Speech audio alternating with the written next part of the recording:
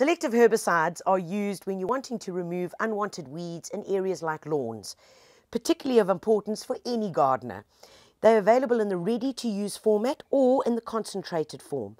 The ready to use, it simply is as it is. Turn the little nozzle and you can spray directly onto the affected area.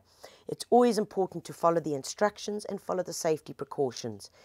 Always spray these on a windless day and preferably sunny. The sunnier it is, the quicker the chemical is taken up into the plants and used to then disrupt the cell patterns, which means that the plants will die quicker meaning selective, it will kill the broad leaves, which are normally the weeds that we find in our lawns, and leave the narrow leafed plant, which is normally what our lawns are.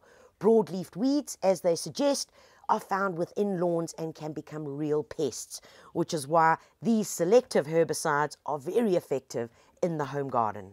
It's very important when applying any of these chemicals to follow the instructions. They will give you a certain amount of the concentrate diluted into water and that must be applied over a certain square meterage. Using more of the concentrate over a smaller area does not mean you're going to kill the weeds quicker. It simply means that you might kill the lawn as well.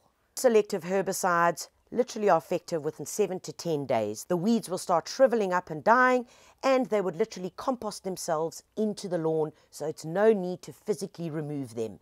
They will frizzle up, turn into the soil, and they will not affect or contaminate the soil that your existing lawn is in. So if it is over a large area with sparse amounts of lawn and large amounts of weeds, new lawn plugs or instant turf can simply be planted directly over the area.